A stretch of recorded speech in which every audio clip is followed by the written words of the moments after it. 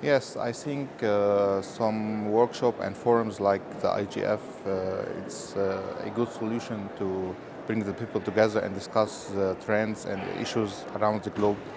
But there, uh, we need more acts about this, not only to to just uh, do some theories.